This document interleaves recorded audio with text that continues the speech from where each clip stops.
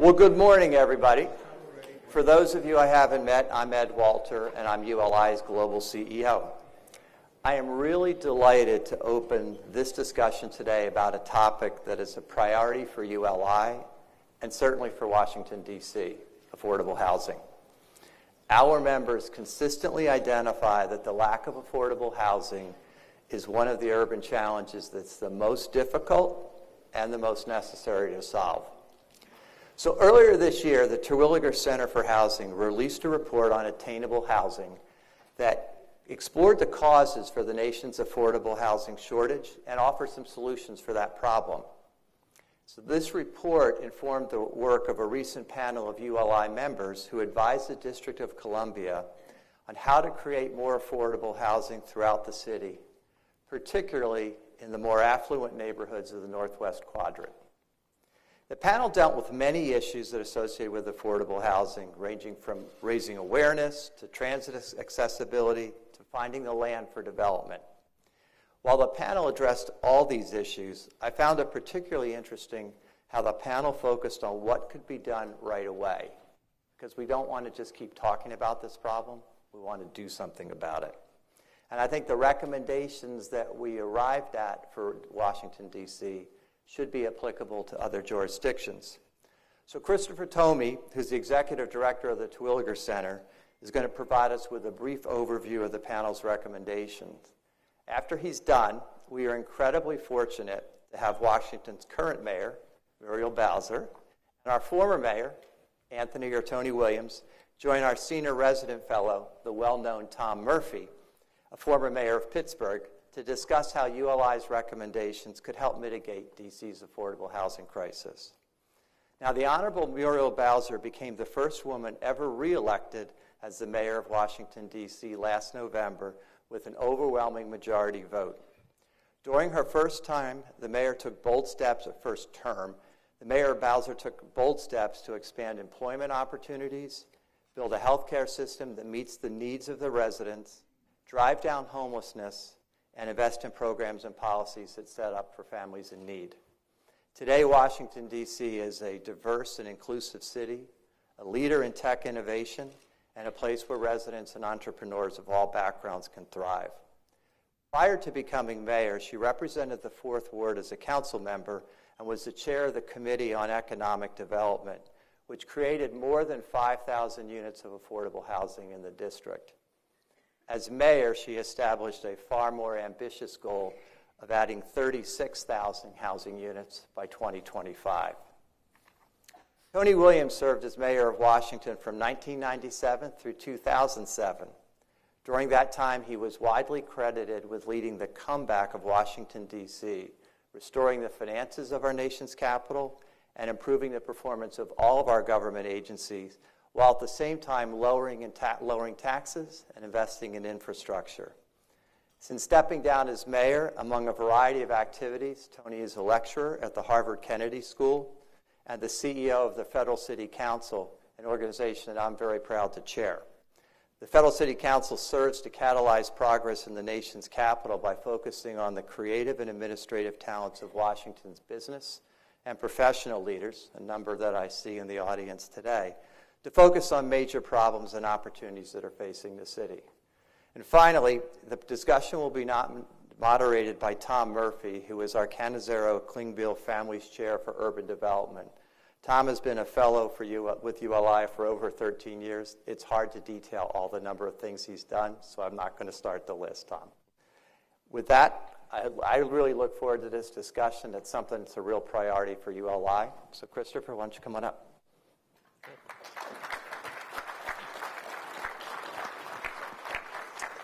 Thank you, Ed, and thank you, Mayor Bowser and Mayor Williams, for being with us today. I uh, really appreciate the attention you're given to the housing issue, and uh, want to share just a few of the recommendations from the housing panel uh, that occurred back in July. Uh, as Ed mentioned, I am the executive director of ULI's Terwilliger Center for Housing, but I'm actually here today to represent the views and recommendations of the panel, and uh, and those are uh, all contained in a report that was released today as well, and you'll find that in the back of the room. Uh, there are about 20 recommendations, so I'm not going to dive into deep detail on all of those, but I am going to touch on a couple in each of three buckets uh, that the panel thought were particularly important. First, a couple of just a quick snapshot of what the housing situation is in DC and what the uh, panel's assi- specific assignment was. Uh, can I get a sense of how many people in the room are from the DC area? Okay, great. We have a few folks who aren't. Great. Um, so there's some familiarity with the, with the housing problems here. Um, uh, looking at affordability, if you look at home ownership uh, for the region broadly, uh, it costs, it, or the annual income needed to, to become a homeowner is about $105,000. And you can see uh, that an electrician, an EMT, a home health care provider, a police officer, public school teachers are getting nowhere near uh, the level of income to afford to purchase a home uh, in the district. And then if you look at rental, uh, it's also shocking uh, what the affordability needs are here. We, we do see that electricians and public school, school teachers are at the level to afford a one bedroom apartment, but they're the only ones uh, of those five, and, uh, and certainly are going to have difficult, difficulty in a larger unit, in affording a larger unit as well. And how did we get here? Well, we had an enormous production gap from the years of uh, 2010 to 2018. There was a production gap of about 25,000 units, and uh, that started to drive prices up. And what we're looking at moving forward is a continued deficit. And by 2025, uh, that number of uh, deficit will be at 65,000 units. Uh, at current rates, we're looking at a 75,000 unit deficit as of 2030 and 115,000 unit deficit as of 2045. So you can imagine uh, where affordability will head if something is not done to address those deficits. For anyone who, in the room who is not actually from the DC area and not familiar with the geography, this is the Rock Creek West Planning District that we were asked to take a look at by the panel. Um, the mayor's housing goals were referenced, and out of those housing goals, a total of 2,500 units are targeted for this Rock Creek West Planning District. And uh, as has been mentioned, this is a very, very wealthy area of the district, and it's been a very exclusive area for a very long time. Uh, and it's not the easiest place uh, to build housing affordable to moderate and lower income folks. Uh, to give you a sense of how difficult it is, you can see where subsidized affordable housing is found in the district today, and only 1%, 1% is in that Rock Creek West uh, planning district. So here's the specific assignment of the panel. First was to identify and prioritize the barriers to new production of housing, and that's both market and workforce affordable housing. To outline some specific tools and policies that could affect this, and particularly to look at zoning, to look at some uh, tools like inclusionary zoning, rental vouchers, uh, accessory uh, dwelling units, accessory apartments, and looking to fill some of the policy gaps. They also asked that we develop a strategy and timeline to lead to that production of 25 units in Rock Creek West by 2025. Ask about the kinds of typologies that would be suitable for different uh, areas of that planning district and identify uh, particular sites that might be good for housing development. And then finally, looking at the particular barrier of building sub- su- uh, public support for development. We all know what a challenge that can be. And uh, so the panel was asked to, to, to, really take a look at that and make some recommendations, and uh, particularly to look at fair housing goals and uh, how to make the Rock Creek West District more inclusive. The, re- the, recommendations fell into three buckets. Uh, create more housing is really the, the whole goal, um, uh, but uh, it's built on gaining community support, improving the develop- development process, and then there are several other items uh, that the panel recommended uh, with regarding to creating housing that didn't fall into those other groups. But they're all closely related, related and many recommendations uh, fit in a couple of, in, in, several, if not all of the groups. Uh, first, improve the development process. And uh, one of the things that was recommended is to, to leverage small area plans, both to better engage the public and make sure that the development is reflecting public interest and concerns, and it also provides uh, that certainty around development that enables developers to come in, keep costs low, and, uh, and put units on the ground uh, at, at, uh, uh, at a rent that people can afford. And we also did a lot of talking about how to uh, how, how to reduce litigation costs and think that it's really important that the district look at things like its rules around standing, um, making sure that folks who are suing to stop development actually have an interest in, uh, in, in, in the area where they're suing and, and the project that's being developed. Um, uh, there was also a thought of perhaps creating a legal defense fund. Uh, many times with affordable projects, there is not uh, uh any money really to defend against, uh, against lawsuits. And so it's very easy uh, in a wealthier community to stop those lawsuits or to stop those projects through lawsuits, sometimes repeated suits over issues that had thought to be addressed previously. So um, having a, a, a strategy to reduce those costs would very much uh, assist. The concern, of course, is you want people to have access to the court so that their rights are defended. So if they actually do have an interest in what's going on, um, they, have, they have a way uh, to be heard. So uh, the panel definitely um, uh, uh, understands that there is a balance there, but uh, it's the legal situation is definitely stymieing residential development here. Gaining community support is a huge part of developing residential, developing housing, and particularly affordable housing anywhere. And, and there were some particular recommendations around um, race and class. Um, there is a long history of racial exclusion in the Rock Creek West District. It dates back to the 19th century, um, where you first saw the deed restrictions. You saw more informal forms of exclusion happening later. And if you look at the city today, you still can see um, uh, that the city is divided along those lines that were created by both formal and, uh, and, and informal for rules that, uh, that locked people out of the Rock Creek West area. So that, that needs to be addressed specifically. And um, and that can both address a concern and build a lot of support. People actually don't like to have a lot of racial tension. People want to see these issues get improved. And so if you can find a way to create a conversation to make progress and show that, uh, that this is going to benefit that situation, I think you can really gain broad support uh, in the district. Um, the other thing is to, is to really be forthright and, and public about what the plans and strategies are. There was, uh, we did more than 80 interviews on the panel, and there was a great deal of confusion about what was actually going to happen to address the housing situation and how was it going to happen. Um, so being very clear about what the ultimate plan is is, is very important.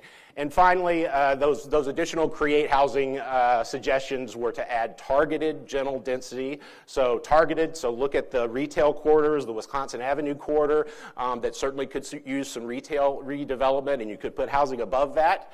Um, general density, uh, using a form-based approach, uh, really enables you to do a lot more with a lot less impact on, uh, on uh, the look and feel of a neighborhood.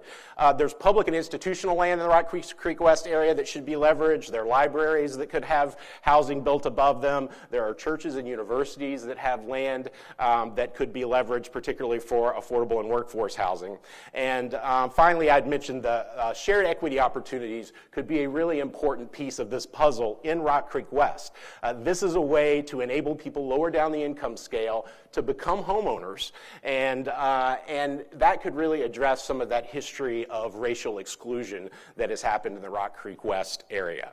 So um, again, there were, there were about 20 recommendations overall, and uh, I encourage you to take a look at, uh, at the full report, but uh, at this point, I will hand it over to Tom and the mayors. Thank you. Um,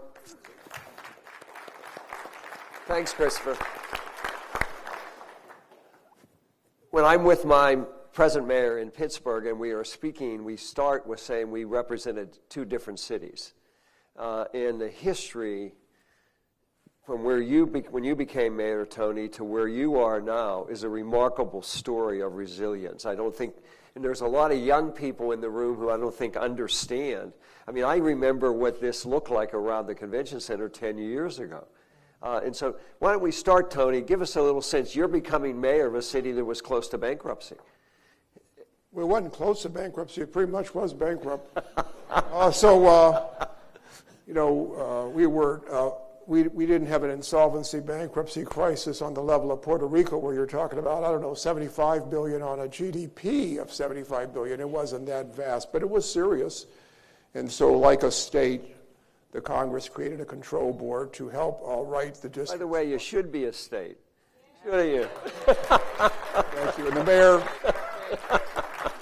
my organization and the other organizations, and the other uh, non-government organizations in the city have uh, signed a letter supporting the mayor's effort for recognition of uh, DC. But the long and short of it is, you know, we were able to right the finances and really get the po- positive economic momentum going. It's a long story, but I'll just say that. And I think what's really happened over the last however many years it's been is it's like when Warren Buffett talks about the power of compounding.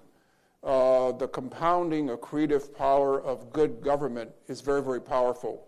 So you've essentially had a series of mayors culminating in our great mayor, Mayor Bowser. Uh, good government, and good government's a good thing, and you're seeing the results of it, is what I would say. We all believe in basically the same things transparency, accountability, good customer service, good public safety, you know, a, a good platform of settled expectations for economic development. All these are the basic contexts for prosperity and growth. Once you have prosperity and growth, then you can talk about distribution, allocation, inclusiveness, but you've got to get the engine started.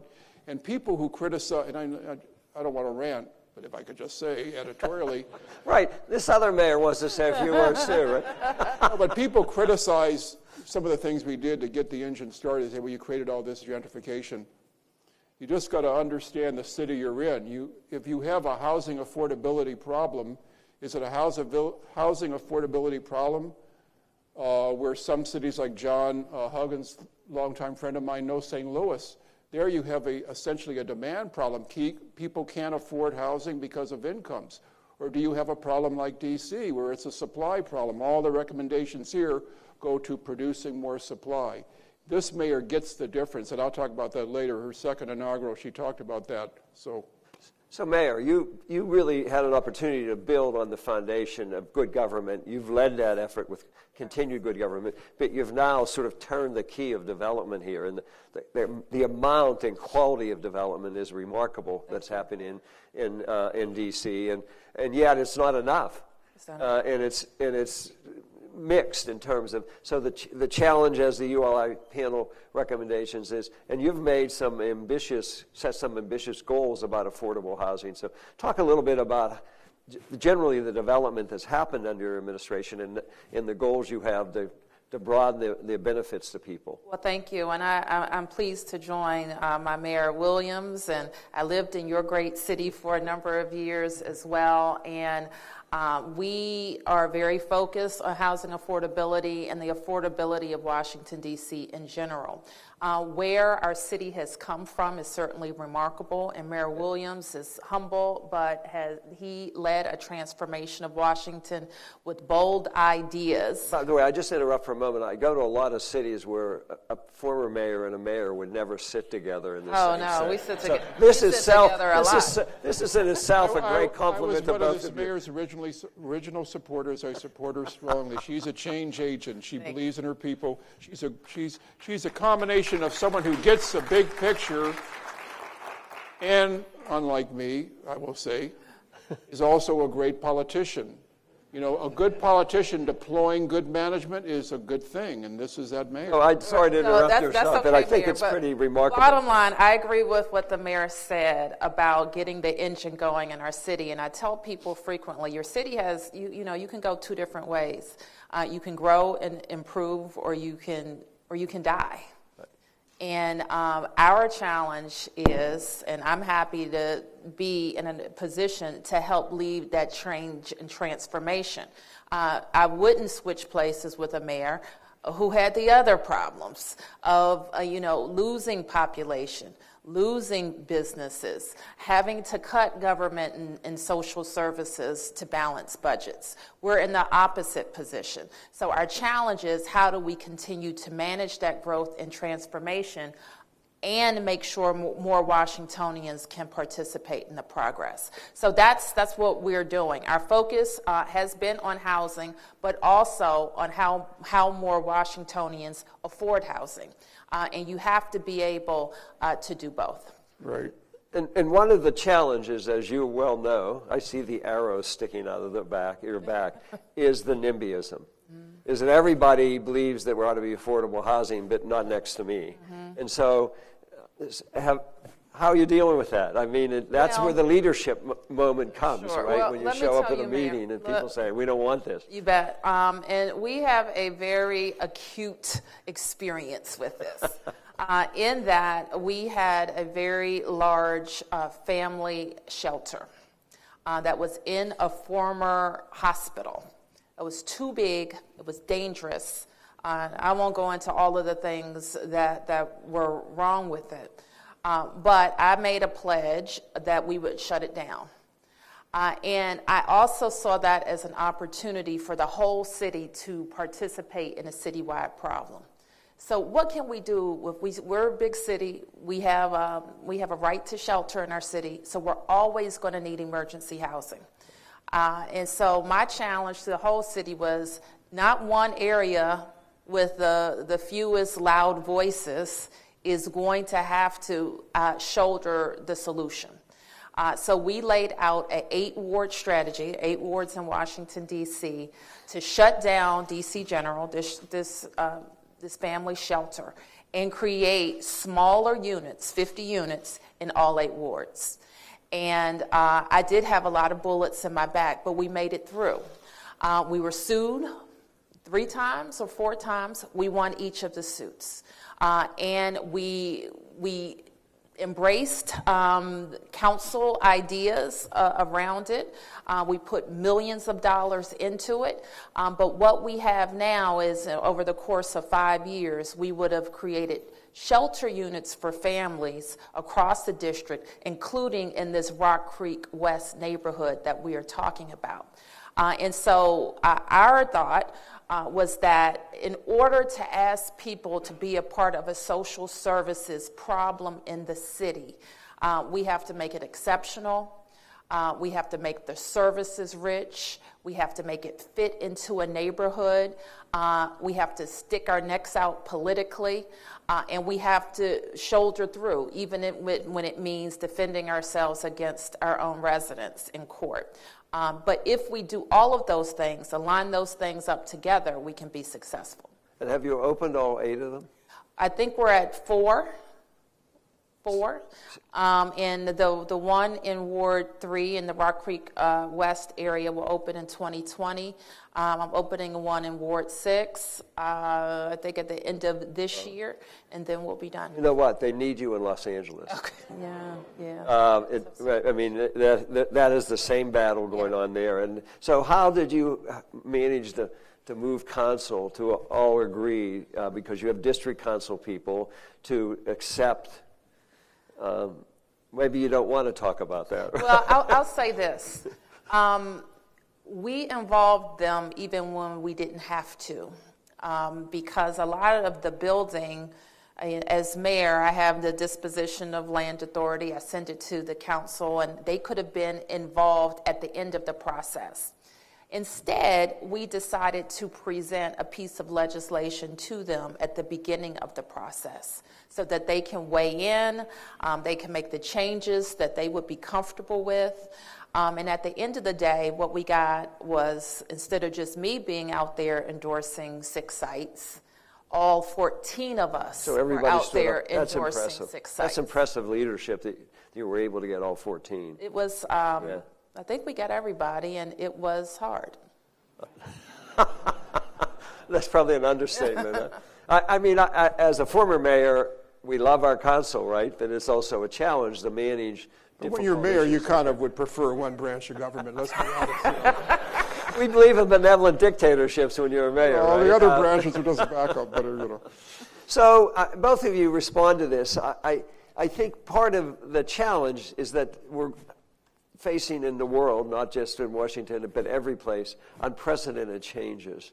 And cities so often I see when I visit, and Tony, you've had an opportunity to visit now a lot of cities, so focused on today, just providing the basic service, police, fire, and what is, I think, extraordinary in Washington is that what you've done is taken those resources and energy, some of them, and committed them to tomorrow, Well, one the of the future. things that, yeah, one of the things that good leadership this mayor has really done is really catalyzed.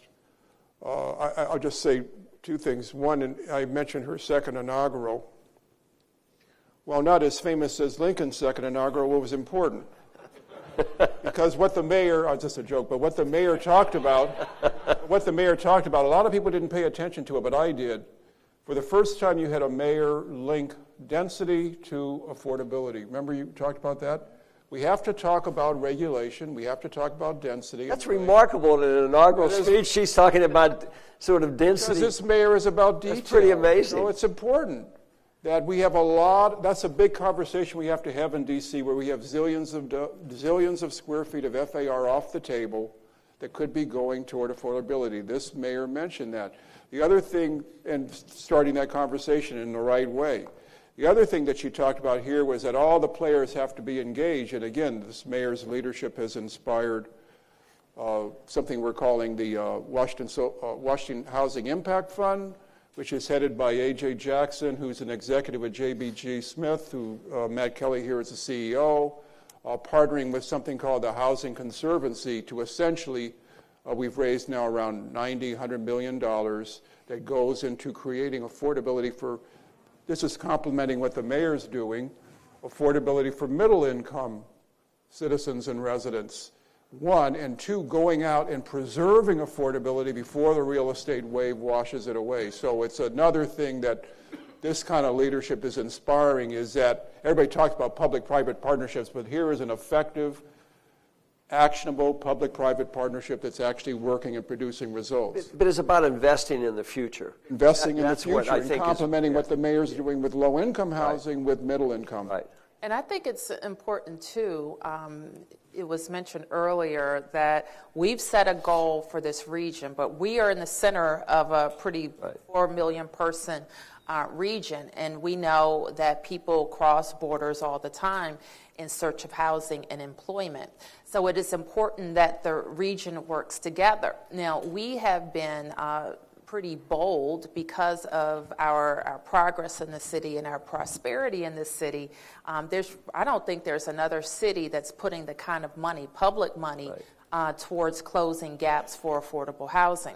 Uh, we do out of our out of our general funds uh, over hundred million dollars a year to close gaps for affordable housing. Since this is a conference of real estate developers, you might want to talk about how they might, well, how does that come together, the public and private deals come together? Sure, and it's complicated, and I like the recommendation to make these processes more simple. Um, and we're guilty of some duplicative work even in our affordable housing space. So um, we're very focused on doing that. So $100 million I put out every single year. I have a couple of agencies that the, the private development community will come and say, I have this project, um, and we can make these units available if you partner with us. Um, and we can give up a million dollars. I think one of our largest has been a $27 million um, commitment uh, to the production of that housing. What we know is when we get in, uh, then we get uh, tax credits involved, or we may get pension funds that want to invest. There are other sources that come in when the district uh, comes in as a strong partner with those affordable housing projects. And what the mayor mentioned is also important to us, where we need uh, we need um, public support and political support for, and that's middle income production. Now, there are some people will say, I don't want our tax dollars to be used to help people that make ninety thousand dollars a year. And that's a ridiculous statement, uh, in my view, because those same people who are making $90,000 a year, who still can't afford what a market rate unit is, then they go down, uh, and now they are buying what that person who makes $40,000 a year could be in. So we have to make sure we're investing in every segment of the, the income spectrum. I see it. I drive from Pittsburgh to Washington every week. Oh, wow. In, in Hagerstown's, A lot of driving, but. I love Pittsburgh, okay? uh, in Hagerstown, 75 miles from Washington, D.C., Yep. if I come down Monday morning, I hit rush hour traffic. Yes. And that's, and that's your challenge, is that a lot of those people that live out beyond Hagerstown can't afford to live here anymore. And so the, it's your, so the regional question of how you cooperate, I mean, you're in a unique situation. But many of You've got three people- states yeah, trying to work together, right? Well, let me tell you this, because what we're finding is a lot of those people in Hagerstown and Frederick and all parts around us, um, the ones that can't afford it are moving down here because they're tired of spending their lives. Oh, They're the spending an hour and a half a- day, two, It's- three hours a day. No, three Yeah, hours a yeah, day. Just yeah. imagine how many days you're taking from your life in your car when you do that. Uh, so the other thing that we are doing is uh, because I, I hear some from people sometimes that say, I would live in D.C., but I have kids. Right. And I tell them, you know, we have kids in D.C. and schools and parks. Um, but what, what they're saying in that is, I want to be close to good amenities. And what Mayor Williams and Mayor Fenty and Mayor Gray before me did to our city, this is a transformation of our city, is we invested in great amenities. Uh, Mayor Williams started with our public libraries, and if you look around our city, we had the most magnificent public libraries. Mayor Fenty continued that with schools and park, parks and recreation facilities. I continue that in making sure we have the best school facilities and parks and transportation facilities um, that we can. We, all the things that the government can do, we do. So now it's not just Rock Creek West that is a desirable community in Washington, D.C. They're desirable communities in all eight wards across our city. And that's what another thing that the government does to make housing affordable. Um, we improve neighborhoods so there are more places uh, that people want to live. And so we will continue that focus. Now, what uh, eludes us somewhat, uh, or our private sector partners can help us with, is that we don't build grocery stores or at least we shouldn't. Uh, and we need, uh, and all of those things, because uh, people are attracted, they have to have safe transit, schools, parks, libraries, and grocery. Uh, and when they have those things, there are more places in DC that they will consider living. So the, the, the relationship, mentioning transit, metro, in one way, when it's created, one of the most remarkable developments in America of three, th- three states. I'll give you State compact, that. thank it's you. Coming together, agreeing to how to pay for it, and, and now more recently the challenges of not only trying to maintain it, but also the discussion of potentially expanding it. And how how is that conversation go with two governors and yourself? You in effect are playing the role as governor uh, and mayor of how how do you work that out? There's been bumps in the road, yet we see Metro beginning to expand toward uh, Dulles, and uh, and so Well, I think we had, Mayor, you probably will agree that we had a big triumph uh, in bringing our three jurisdictions together for Metro. I firmly believe if we allow our Metro system to slide, it will be one of the, the biggest thing that drags down this region as a competitor with other regions. And it is, it's not. Um, it's not possible for us to let the metro slide. So we came together, I think, with a historic funding agreement. I want to thank many members of our business community uh, who have, have been helpful. One of the biggest challenges is, you know, in DC, we're committed to transit. We're urban focused. We have a great system. We want to get cars off the road. And I don't know that there has been a, a mayor, in my experience, that differs from that point of view, uh, or that there will be a, a chief executive in our future that would differ from that point of view. It's different in Maryland and Virginia. Uh, they have a bigger, uh, they have constituencies that love roads um, in parts of their states. Um, and then they have constituencies that are closer to us uh, who value transit. So it, uh, it makes it a little bit more difficult for those governors, but not impossible. Uh, they have the resources to invest in transit, uh, and they have to be committed to it. And so they, it, it- you've built. A, I mean, there's some relationship now, putting money in for maintenance, and it's it's beginning to. Well, we improve. raised uh, the leadership of the three governors. Uh, we led the federal city council. We led an effort of uh, the regional organizations support them uh, over uh, a 10-year period, 15. I forget it now. 30-year period. I'm getting my numbers mixed up, but 15 billion dollars to go into a capital plan for Metro. So this is a big commitment by the three states to go into. Yeah, it's a, it, and so you get credit for helping to negotiate. Right. that. And the second aspect of that was better, where we thought it was condition proceeding, but it's kind of trailing, but it, as long as it happens, was better management as well. And the mayor has led the effort in appointing, uh, uh, who acclaimed former uh, director of DMV, deputy mayor, to now be her representative on Metro. So she's taking seriously professional qualifications on the Metro board. You know, we're not like doing an opera here. We're trying to run a transit system. So, And, and I almost hesitate to ask your relationship with the federal government. Mo- most of us ran cities. We, we were creatures of state legislators, which was in many ways difficult enough. I can't conceive of having to go to the federal government to try to run a city. Right. Um, so Maybe you don't want to. no, it's fine. We talked we talked about it a lot, and I know that Mayor Williams shared this view that uh, we're going to work with all of the people that we have to work with, whoever's in Congress and whoever is in the White House. Um, and we're very aggressive about those relationships. Uh, it would we would be helped by two senators, so that's why statehood is so important to us. Right. Um, And you talk about Metro. Uh, just imagine um, when our, you know, our senators are going to get something for Metro. And by the way, I'm, we're the biggest payer for Metro. By far, you know, we pay more than the states. We have more service uh, in our city, uh, and being a part of that compact is very important uh, to to our future. Yet, uh, we have to rely on the senators from Maryland and Virginia when it comes to getting the fair appropriations from the federal government that we need for Metro.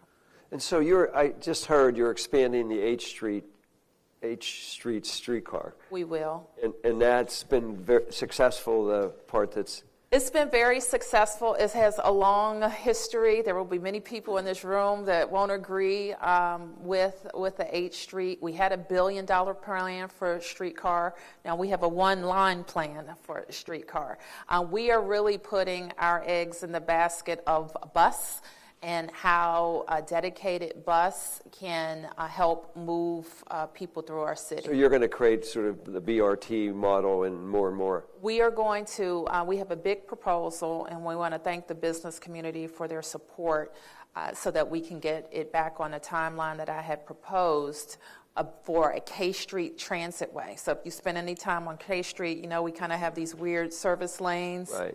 None of it works, not deliveries, not pickups, not bus, nothing is working. And so we have a pretty big uh, proposal to transform K Street so that it's working better for all modes.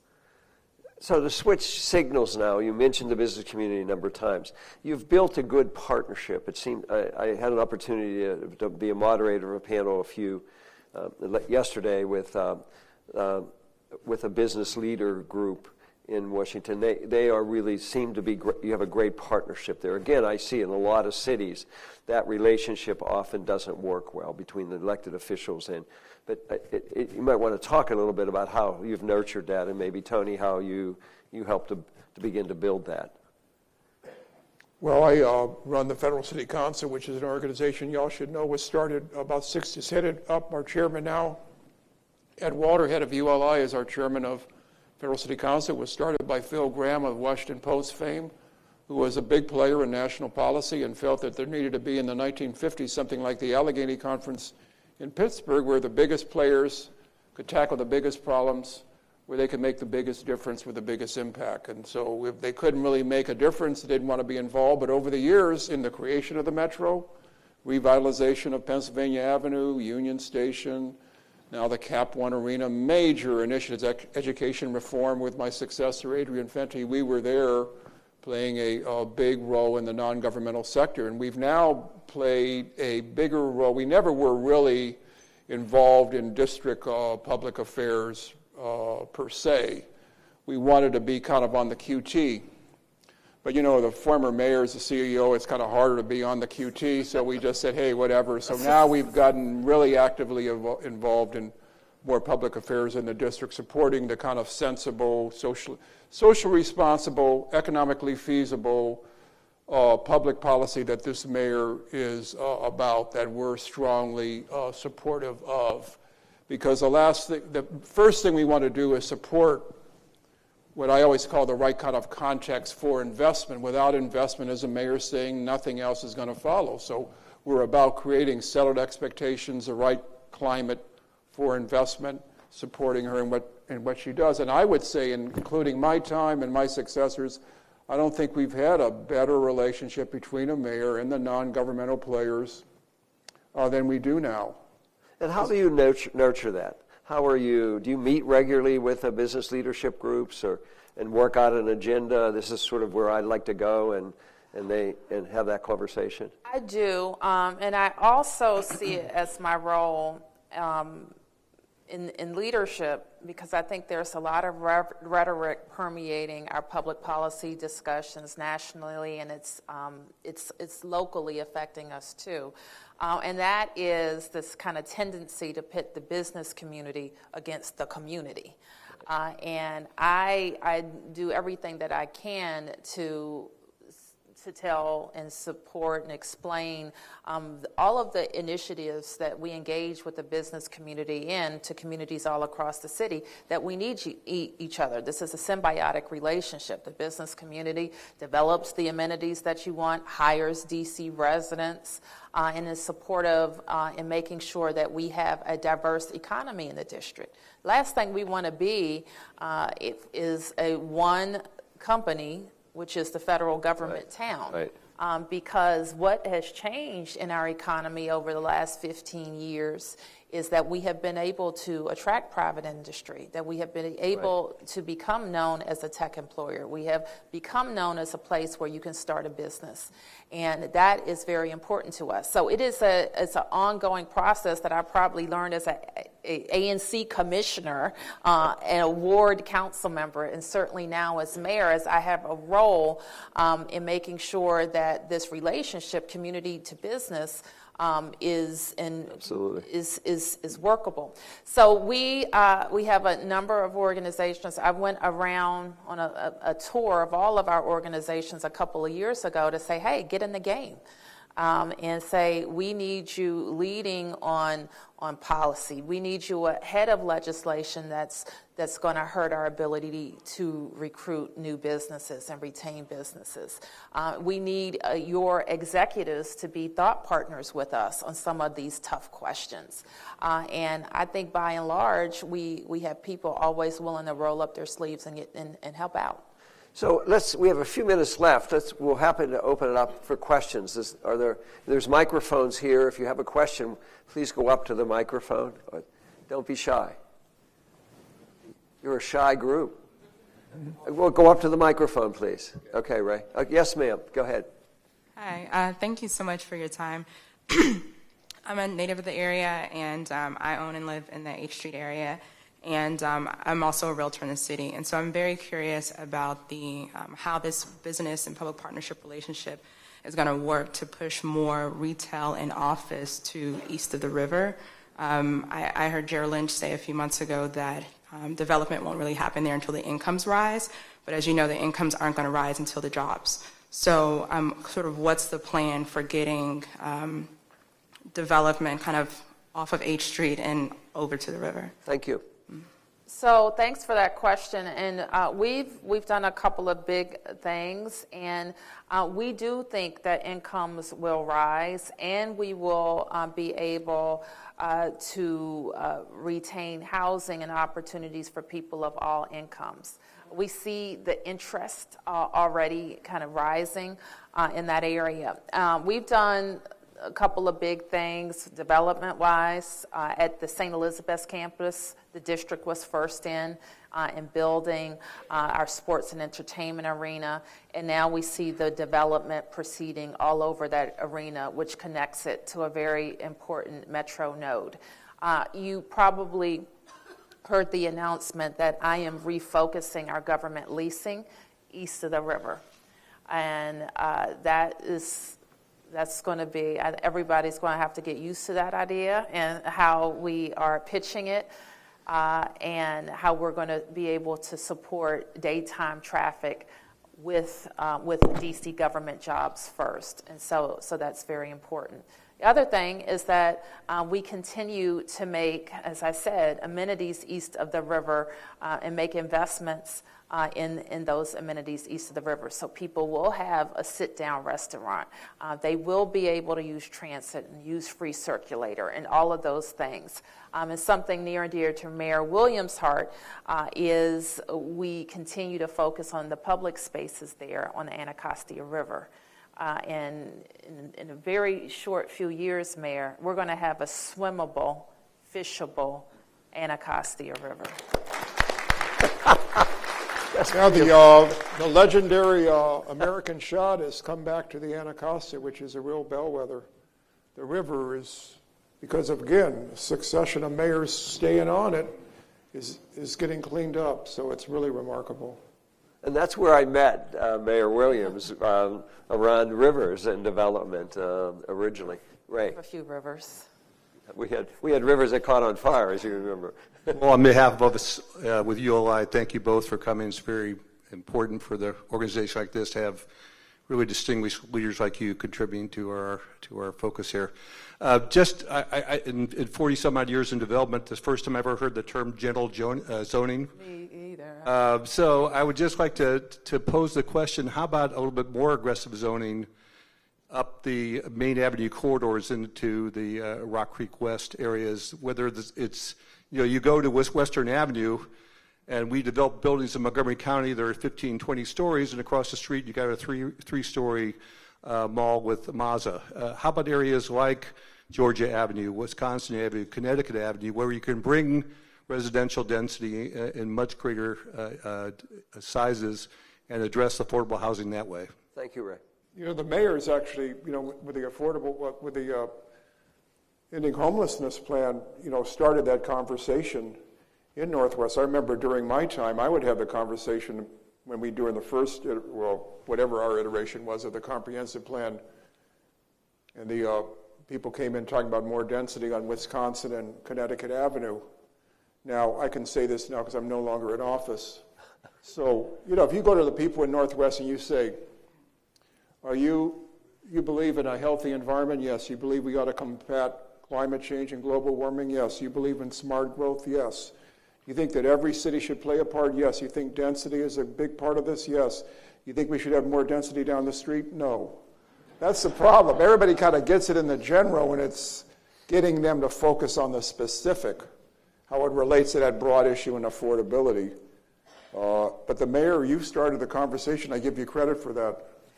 I think, uh, Ray, we have to, it, it's, uh, it's going to take more than us and the Office of Planning and our housing agencies because we can start the conversation in advance of a big idea discussion, but we have to have some support from our policymakers on the council. Uh, and so we have to push people beyond this idea that a committee of 100 people should outweigh the, the needs of uh, housing for this generation and the next. Uh, we have to get people to think, and this is where I've always approached whether it's a transit project, a development project, or anything. I, I um, approach it thinking that it's a 50 year project. And I think if people could approach it like that, they could get them. I'm talking about policymakers now because they have a leadership responsibility. They can get themselves out of this idea that this is going to affect neighbor X, Y, and Z. But the truth is, neighbor X, Y, and Z probably won't be there in 20 years.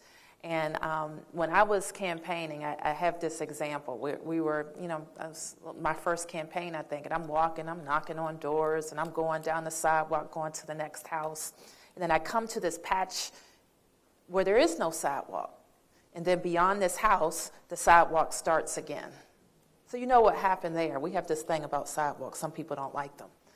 Somebody said, I live here and I don't want a sidewalk. That person was probably long gone by the time I came by to knock on that door, but still we have no sidewalk. So it was just a very simple illustration to me is how one person can't affect the infrastructure of a city for 50 years. And so I think if we have that approach when we go uh, into some of these discussions, we can get people um, out of this. The second thing I'll say about that is you have to give people real finite um, targets that they can relate to. So I'm not going to go to Rock Creek West and say, "Hey, I need you to help me afford, you know, solve the affordable housing crisis." We have to we have to come up with another way to explain what we're doing that they can um, embrace, or at least if they don't embrace it, they will look shameful. That's a good, that's a good. Okay, so you, we, we have to we have to say we have to give people a mission that they can embrace or be called out. Um, and they have to explain why they're, they're not behind this very good thing for all of us who live in the city now and for the next generation of people uh, who will live in the city. Um, people will, you know, will rationally pursue their own self-interest. We know that. Uh, and that is why we have a government uh, to come to collect uh, the, you know, the collective um, good for all of us. And you're going to push me, everybody. We're going to push the council. We're going to push the zoning commission. We're going to push the land use attorneys to make sure they're getting it right. All of us have, uh, have a role to play in making sure we're advancing a good project. But then we have to deliver on it. I think You're going to get, you're going to get the last word. Go ahead. to, So, uh, Why don't you introduce yourself? that's Robert Goldman, Montgomery Housing Partnership, and so I want to commend the mayor on her leadership on affordable housing, and uh, and I think it, sort of to, to what you were just saying, your effort on affordable housing to get to 100 million, now 115 million, that not only impacts your district, but it also helps us in Montgomery County to do what you just said with Ward 3 is then to shame our, our members of the council and county executives, say, if the district can do 115, You why are we only doing billion. 30 million dollars? Exactly. Exactly. So I appreciate your leadership on that and your, your willingness to put targets. And I, I, you know, and so I guess what I would uh, say is, what more can we do on a regional basis to get the leadership that you have here to get more affordable housing to, within the other jurisdictions? So we're all kind of doing the same. So any more suggestions you have? Thank you. Well, you, you may know, I'm a big fan of Montgomery County. I worked for Montgomery County for 10 years. Montgomery County has been incredibly good to me. Um, and I have been kind of watching some of the reporting around the housing issues in the county, and they seem to be uh, more linked than ours. They seem to be linked to schools. So I think some of a way to, to get people comfortable with more housing units, especially in areas um, where the school populations are big, is to also talk about schools. And because if you're, you're having school, we, we made big investments in schools, and we're going to continue to make huge investments in schools. And I don't, I don't know if the same is the, if it's the same in the state. So I would um, continue to think about how you link schools uh, to that discussion, because nobody wants if they can if there is an issue that people can get behind instead of talking about the real issue, they will. So eliminate school crowding or those types of things as an issue or an impediment to talking about housing and more housing units. I think it's in the interest of the counties to really work with the city because we, one, are a metro region competing in the global economies. It makes sense to reason that metro region competing in the global economy, we're going to be better off with six senators rather than four. This is like, duh. We're going to be better off with a better workforce that's more mobile. This goes to affordability, transportation, all these different things. We're all in, and it's in the, it's in the interest of the county, counties now to talk to the district because what this mayor and future mayors are struggling with is keeping the city if we were trying to get the city going again. Now mayors are struggling to keep the city inclusive and affordable because the mayor would agree with this. If you took your hands off the controls now in 40 years the district would essentially be if all the uses expire the district would become a european city and we'd be like a european city where the center core was doing fine and the inner ring was struggling. Now's the time to address those issues. That's what this mayor's saying So we have a minute left. What's the future? What do you see that we don't right now over the horizon as sort of the big issues? And Tony, you're sort of the senior guy. You've had an opportunity to, to spend a little bit more time looking, trying to look over that horizon. You're trying to run the ship every day. But what do you see coming uh, in terms of the challenges for cities like Washington? And, and you really are an international city in that regard. I think we have a challenge with, um, we're, we're going to run out of space to, to build housing. And so we have to look at our unused space. Um, and this is a tricky conversation in our city because we have a lot of density outside of our monumental core that could be taller. Say that. Um, so that's one thing. Uh, and I also think there's a challenge out there, kind of in the industry, of helping us come up with ways to build affordable housing more uh, that doesn't cost so much. I mean, the subsidy required to get affordable housing units is astronomical. Um, so, what industry uh, can you help us with to make the best use of our land and the best use of our subsidy? We hope technology and housing production. Yes, and we've, we've seen cheaper. some of that. We, we, for example, a couple weeks ago, we, we're having a unit, uh, a building convert from one bedroom units. They're going to turn them into two bedroom units and use a service to put roommates together, basically. So now a unit that was going to house one person is going to house two people, and it'll be more affordable, somewhat, um, for, for, for those people. So there are going to be a lot of things that, that we have to do to house more people in the city. Thank you. Tony, do you have a? Yeah, for, you know, 60, 70 years now, it's been a big topic in academic salons and corridors to talk about who rules the city.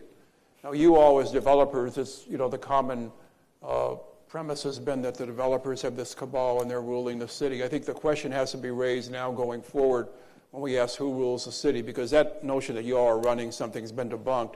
If you know an American city, it's hard for anybody to run the city, let alone a little cabal. But the question has to be raised are the people running the city now, or at least the people with an undue influence now, a small minority of people who fancy themselves to be the defenders of the public, republic against the hordes? You know, a minority of small people who are sending every good architect to their death, who are dooming every development to interminable delay for year after year after year. Are they the real culprits? The question ought to be raised. In the coming years, that's a big issue. That's a great issue of how we govern ourselves. And with that, I want to thank all of you. But let me just say one thing. I'm going to tell you a secret. The best job in America is being mayor of your city. Thank you. Thank you very much. Thank you, Mayor. Thank you. Okay.